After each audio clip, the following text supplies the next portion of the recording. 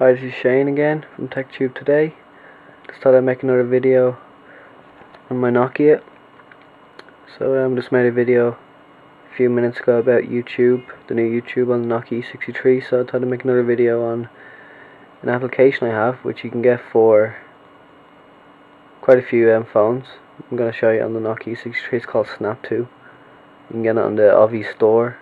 You can also get it on tons of other phones. You don't even need a smartphone.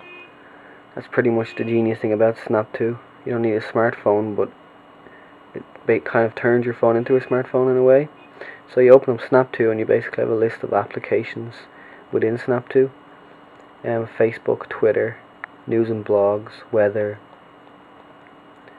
You have my movies, The Guardian, The Big Picture, Picasa and Flickr. And um, then I added these myself. These are just with links uh, to YouTube and Last.fm. Not actually applications. Google Calendar. You can click Add More. Add more applications. And then there's a lot of different applications for it. Gawker, GigaOM, Gizmodo, Google Calendar, Jezebel, Lifehacker, Live Football Scores, London Pub Guide, London Tube, Mashable, Mobile, Crunch, My Movies.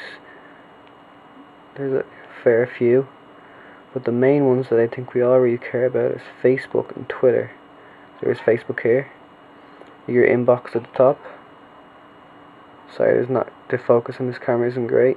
I'll just turn on the macro if that will help at all.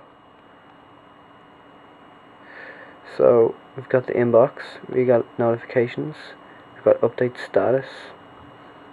We can update the status here by clicking update. I just updated the blank status, but you get the point then you can scroll down and it doesn't scroll down um, by lines. It scrolls down by item. So it doesn't matter how big someone's post is you're not gonna scroll too far far scroll too um, short. As it will just go post by post which I find really really handy.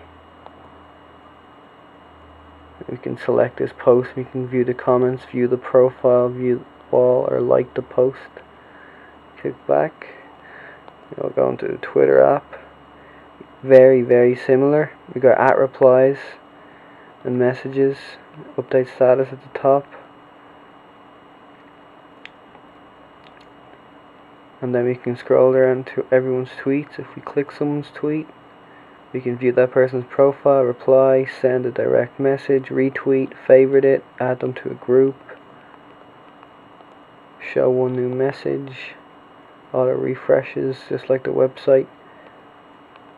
And so that's the Facebook and Twitter. I suppose I'll just jump into some of the other apps since this video is not too long. There's the reader the news and, news and blogs rather which is basically an RSS reader. It adds a few default feeds but you can add your Google Reader feed. You can get all your Google feeds in there.